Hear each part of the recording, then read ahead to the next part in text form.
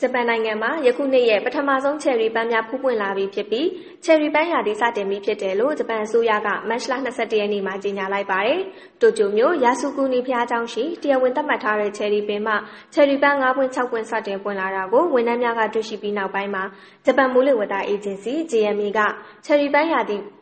ချယ်ရီပန်းရာသီစတင်ပြီဖြစ်ကြောင်း နှစ်စဉ်နှစ်တိုင်း တရားဝင် ထုတ်ပြန်ကြေညာလေးရှိရလို့ သိရပါတယ်။ ချယ်ရီပန်းများဟာကိုနှစ်အတွင်းပထမဆုံးကြိမ်ဖြစ်ဂျပန်နိုင်ငံရှိအခြားမြို့များထက်အစောဆုံးပွင့်ခဲ့တာဖြစ်တယ်လို့ JMA ရဲ့ပြောကြားချက်အရသိရပါတယ်။အေးမြပြီးမိုးရွာနေတော့လေဒေသခံများနဲ့ခီးသွွားများဟာပထမဆုံးချယ်ရီပန်းပွင့်တာကိုကြည့်ရှုရန်အတွက်ဖះเจ้าနဲ့အနီးရှိပန်းချံကိုမတ်လ21ရက်နေ့ကလာရောက်လည်ပတ်ခဲ့ကြရလို့သိရပါတယ်။ဒါဟာຫນွေဦးရာသီကိုစတင်ရောက်ရှိလာပြီဆိုတဲ့အရေးလက္ခဏာပဲဖြစ်ပါတယ်